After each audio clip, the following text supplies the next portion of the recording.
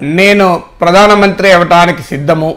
Congress party గనక బలముంటే అని రాహుల్ గాంధీ ప్రకటన చేయడంతో ఆయన మీదకి బీజేపీ విరుచుకపడింది. ఈయనట ప్రధాన అవుతాడట ఈయనకంత సీన్ ఉందా అని. అలాగే కొంత గోడ మీద పిల్లలుగా ఉన్న కొన్ని ప్రతిపక్ష పార్టీలు కూడా రాహుల్ గాంధీ అనేది ఇప్పుడే మేము ఇట్లా చెప్పగలం రెండు వేల పంతొమ్మిది తర్వాత చెప్తాం అంటూ విరుచుకుపడ్డాయి. ఇక రాహుల్ గాంధీని కాంగ్రెస్ను వ్యతిరేకించే మీడియా అయితే అసలు ఈయన ప్రధానమంత్రి ఏంటి అని గేలి చేశాయి. కానీ ఇంట్రెస్టింగ్ అంశం ఏంటంటే ఒకప్పుడు రాహుల్ గాంధీని ఈయన పారిపోతాడు ధైర్యం లేదు బాధ్యతలు తీసుకోవడానికి సిద్ధంగా లేడు ఈయన ప్రధానమంత్రి పదవికి రెడీగా లేడు ఈయనే నాయకుడు అని అప్పుడు విమర్శించాం ఇప్పుడు ఆయన నేను ప్రధానమంత్రి పదవి సిద్ధం అంటే ఆహా ఈయన ఎక్కడైతాడు ప్రధాని అని గేలి చేస్తున్నాం మరి ఇప్పుడు ఆయన ఏమనాలి పాపం? ఇప్పుడు ఆయన క్వశ్చన్ అడిగారు. Are will you be the prime minister అని అడిగారు. దానికి ఏమన్నాడంటే ఆయన it depends if Congress has a numbers if Congress does get the majority yes I will be అన్నాడు దీనికి పెద్ద చర్చ రాద్ధాంతం జరుగుతోంది. ఎస్ ఎవరు ప్రైమ్ మినిస్టర్ కావచ్చు?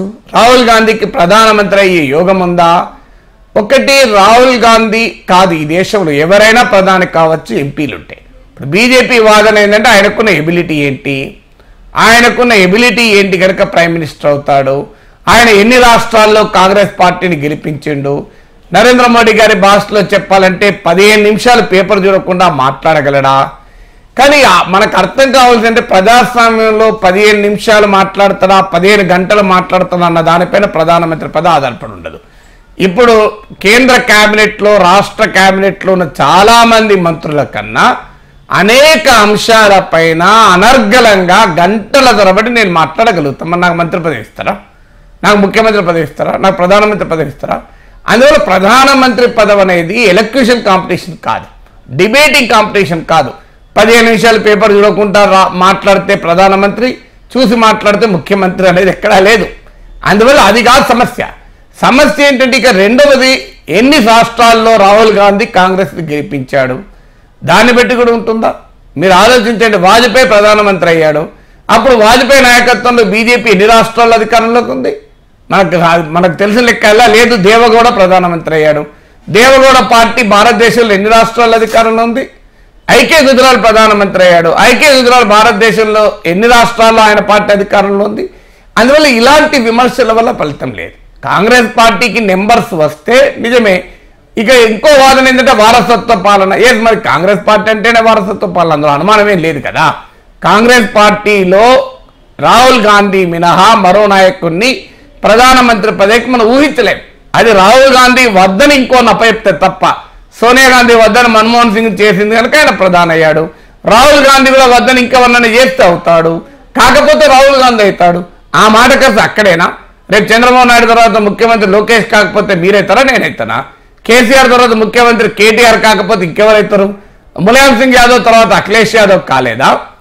కరుణానిధి తర్వాత స్టాలిన్ రావడం లేదా? అందువల్ల రాజకీయాలు ఇది కొత్త కాదు. ఆఖరికి ఎడియారప్ప కొడుకు సీడీ అయిపోతే ఆయన మొత్తం కుర్చీలు స్టేజ్ అంతా తిరగొట్టలేదా అందువల్ల ఇక వారసత్వ రాజకీయాలు అంటే రాహుల్ గాంధీ కాంగ్రెస్ పార్టీ వారసత్వ రాజకీయాలకు పుట్టింది పేరు పునాది. కానీ ఆ ఆ వ్యాధి ఆ డిసీజ్ అనేది భారతదేశంలో మొత్తం రాజకీయ వ్యవస్థ కట్టింది అన్ని ఏ రాజకీయ దాదాపు చాలా రాజకీయ పార్టీలు ఇది మినహాయింపు కాదు. ఇక రాహుల్ గాంధీ మరి ఎబిలిటీ ఉందా అంటే ఎబిలిటీ దీనికి ఏమన్నా ఐఐటి కామన్ ఎంట్రన్స్ టెస్ట్ లాగా జేఈ ఎంట్రన్స్ ఉంటుందా? లేదంటే నీట్ ఎంట్రన్స్ ఉంటుందా?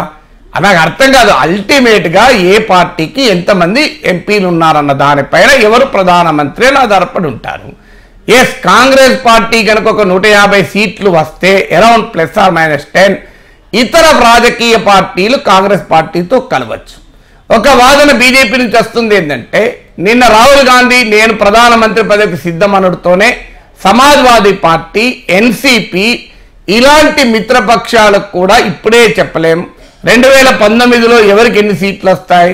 తర్వాతే ప్రధానమంత్రి అవుతాడో అని వ్యాఖ్యానించారు. చూడండి రాహుల్ గాంధీతో ఎవరు కలవడానికి సిద్ధంగా ఉన్నాడు? మమతా బెనర్జీ సిద్ధంగా ఉందా? చంద్రబాబు నాయుడు సిద్ధంగా ఉన్నారా? అఖిలేష్ యాదవ్ సిద్ధంగా ఉన్నారా? అంటూ వాదనలు వస్తున్నాయి.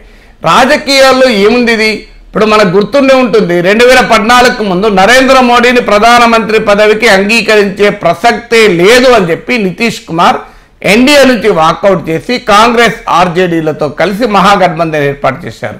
అదే నితీష్ కుమార్ ఇలా నరేంద్ర మోడీ నాయకత్వంలో పనిచేస్తున్నారు.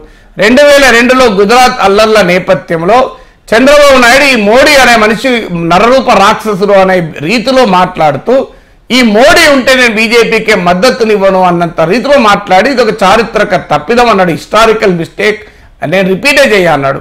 మరి చేయలేదా రెండు వేల పద్నాలుగులో? నరేంద్ర మోడీ నాయకత్వంలో పనిచేస్తానికి ముందుకు రాలేదా? అందువల్ల రాజకీయాల్లో ఇప్పుడు వ్యతిరేకత ఉండొచ్చు. ఎన్సీపీకి ఉండొచ్చు సమాజ్వాదీ పార్టీకి ఉండొచ్చు మమతా బెనర్జీకి ఉండొచ్చు వీళ్ళందరికీ ప్రధాని కావాలన్న కోరికలు ఉండొచ్చు. కానీ రేపు కాంగ్రెస్ పార్టీకి ఎన్ని సీట్లు వస్తాయన్న దాని మీద ఆధారపడి ఉంటుంది. కాంగ్రెస్ కనుక హండ్రెడ్ లోపే వచ్చాయనుకోండి ఎట్టి పరిస్థితుల్లో రాహుల్ గాంధీ ప్రధానమంత్రి అయ్యే ప్రసక్తే లేదు. అందుకే రాహుల్ గాంధీ కూడా చాలా జాగ్రత్తగానే చెప్పాడు సమాధానం. If Congress does have numbers అన్నాడు. అంటే కాంగ్రెస్ పార్టీకి మెజారిటీ వస్తే నేను ప్రధానమంత్రి అవుతా అన్నాడు. కాంగ్రెస్ పార్టీకి మెజారిటీ వస్తే రాహుల్ గాంధీ కాకపోతే స్మృతి ఇరాన్ అవుతుందా?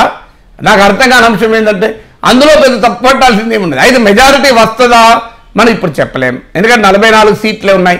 అయితే రాజస్థాన్ మధ్యప్రదేశ్ ఛత్తీస్గఢ్ గుజరాత్ కర్ణాటక ఇలాంటి అనేక రాష్ట్రాల్లో పంజాబ్ ఇలాంటి అనేక రాష్ట్రాల్లో రెండు వేల పద్నాలుగులో బీజేపీ గణనీయమైన సీట్లు తెచ్చుకుంది. ఇక్కడ అన్నిట్లో కూడా బీజేపీ సీట్లు తగ్గుతాయి. అందులో అనుమానం లేదు ఇంక్లూడింగ్ గుజరాత్లో కూడా తగ్గుతాయి. మరి తగ్గినప్పుడు ఇప్పుడు ఉదాహరణ కర్ణాటక ఉంది పదిహేడు సీట్లు బీజేపీకి వచ్చాయి. ఇవాళ మళ్ళీ ఎలక్షన్స్ వస్తే పదిహేడు వస్తాయా? డౌట్ఫుల్ కేస్ పంజాబ్ వస్తాయా? ఢిల్లీలో ఆరు కారు సీట్లు బీజేపీ గెలుచుకుంది. ఇప్పుడు వస్తుందా? తర్వాత ఆమ్ ఆద్మీ పార్టీ అధికారంలోకి వచ్చింది.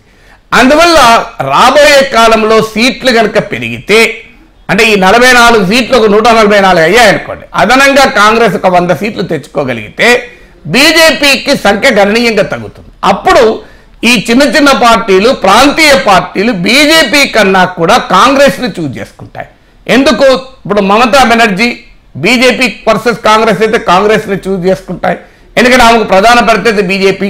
Chandrababu Naidu BJP versus Congress అయితే కాంగ్రెస్ని చూజ్ చేసుకుంటాయి. ఉత్తరప్రదేశ్లో Samajwadi party BSP BJP versus Congress అయితే వాళ్ళు ఖచ్చితంగా కాంగ్రెస్ని చూజ్ చేసుకుంటారు. వామపక్షాలు. ఇవాళ బీజేపీకి కాంగ్రెస్కు మేము దూరంగా ఉంటామని చెప్పినా కూడా రేపు తప్పనిసరి పరిస్థితి వీళ్ళిద్దరిలో ఎవరినో ఎవరు ఎంచుకోవాలనుకుంటే బీజేపీ ప్రభుత్వానికి అయితే మద్దతు ఇచ్చే ప్రసక్తే లేదు. కావాలంటే తన మేము బయట ఉంటాం కాంగ్రెస్ వాళ్ళు వేసుకుంటే చేసుకుంటే వేసుకునే మాకు సంబంధం లేదనొచ్చు. కానీ బీజేపీ ప్రభుత్వం రావడానికి మాత్రం వామపక్షాలు అంగీకరించవు. ఇక కొన్ని పార్టీలు ఉన్నాయి. ఇప్పుడు ఉదాహరణకు జనతాదళ సెక్యులర్. ఇటైనా అటైనా పోవచ్చు. అలాగే కేసీఆర్. ఇతను కాంగ్రెస్ ప్రత్యర్థి కనుక ఇతను ఒక్కడు కాంగ్రెస్ ప్రిఫర్ చేయకపోవచ్చు.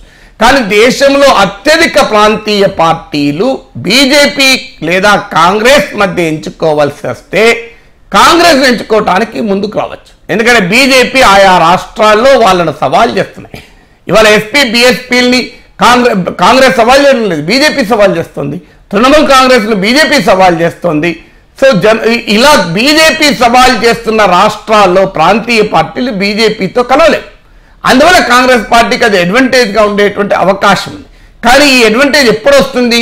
కాంగ్రెస్కి ఒక నూట యాభై సీట్లు ప్లస్ ఆర్ మైనస్ టెన్ వస్తేనే వస్తాయి. అది రానప్పుడు మాత్రం రాహుల్ గాంధీ ప్రధానమంత్రి అయ్యే ప్రసక్తే లేదు. అందువల్ల రాహుల్కు ప్రధాన యోగం ఉంటుందా ఉండదా అనేది ఇవాళ మిత్రపక్షాలు ఏమంటున్నాయని దానిపైన ఆధారపడి ఉండదు. ఆయన పదిహేను నిమిషాలు మాట్లాడగలుగుతారా లేడా అన్న దానిపైన ఆధారపడి ఉండదు. ఆయన ఉపన్యాసాలు ఇవ్వగలుగుతారా లేడా అనే దానిపైన ఆధారపడి ఉండదు. కేవలం ఆయన పార్టీకి ఎన్ని సీట్లు వస్తాయన్న దానిపైన ఆధారపడి ఉంటుంది. రెండు వేల నాలుగులో వాజ్పేయి నాయకత్వంలో బీజేపీ సోనియా నాయకత్వంలో యూపీఏ. వాజ్పేయి నాయకత్వంలో ఎన్డీఏ సోనియా నాయకత్వంలో యూపీఏ పోరాడితే ఎవరు గెలిచారు? సోనియా నాయకత్వంలో యూపీఏ గెలిచింది. మరి సోనియా గాంధీతో పోలిస్తే వాజ్పేయి చాలా అద్భుతమైన ఉపన్యాసకుడు అద్భుతమైన మేధావి. అందులో అనుమానమే లేదు. మరి ఎందుకు సోనియా గాంధీ గెలిచింది? రాజకీయాల్లో మేధో సంపత్తిని బట్టి ఓట్లు పడవు. రాజకీయాల్లో వాగ్దాటిని వాక్చాతుర్యాన్ని బట్టి మాత్రమే ఓట్లు పడవు. అనేక ఫ్యాక్టర్స్ను బట్టి ఆ పార్టీల బలాబలాలు ఉంటాయి. అందువల్ల ప్రధానమంత్రి పదవికి వీళ్ళ రుడా వాళ్ళ రుడా అంటే నెంబర్స్ ఉంటే ఎవరైనా అర్హుడే. ఎంపీలు అవసరం ఉన్న సంఖ్యలో ఎంపీలు ఉంటే ఎవరైనా అర్హుడే. అందువల్ల మనం ఏ ఏ రాజకీయ పార్టీకి కూడా శాశ్వతంగా ఉండదు. ఇంకో వాదన ఉంది. కాంగ్రెస్ పార్టీకి ఇవాళ నలభై నాలుగు సీట్లే ఉన్నాయి కదా. వీళ్ళకంత సీన్ ఉంటుందా? ఎస్ మరి బీజేపీకి ఒకప్పుడు రెండు సీట్లు ఉన్నాయి కదా. అప్పుడు బీజేపీని కూడా ఇట్లే గేల్ చేసిండ్రు ఇట్లే అవగాహన చేసిండ్రు.